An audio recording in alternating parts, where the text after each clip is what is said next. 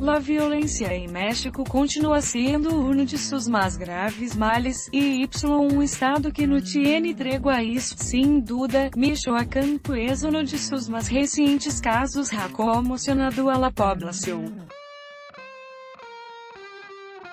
Se trata do lamentável assassinato de três produtores de água a manos de um sujeito que los estuvo vigilando afuera de uma cremeria. Los três produtores foram assassinados em Uruapan por um sujeito que rouba um maletim tras dispara-lhes a queima-roupa. É o ataque se registrou é o passado lunes y queda gravado em la videocamara de um negócio, é o material circula em las redes sociais. Em las imagens se observa um homem com lentes negros que aponta com uma pistola a los aguacateros que arribaram tranquilamente a la em uma caminhoneta branca.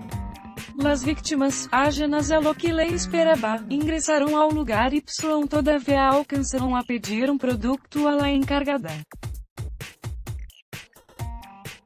É o presunto assaltante amenazou a los produtores com sua arma, a plena luz, sobre a avenida latino-americana esquina com pista berra. Luego de um intercâmbio de palavras, é o sujeito dispara contra um de los aguacateros em três ocasiões y, posteriormente, acciona sua arma contra os outros dos que eles caíram heridos.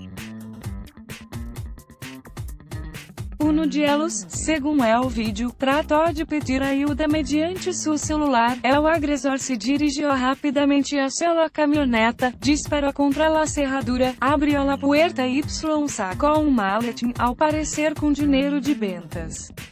La Procuradoria-Geral de Justiça do Estado de Michoacán acudiu à zona para efetuar o levantamento de dos corpos, mientras que um terceiro aguacatero foi levado a um hospital, onde faleceu el martes, de acordo com autoridades estatais. Hasta é o momento, as autoridades no Reino Logrado dar com el assassino pero dia abriram uma investigação para esclarecer o caso com informação de la opinião. Anime-te a comentar. Queremos saber tua opinião. Comentários powered by Facebook Comments.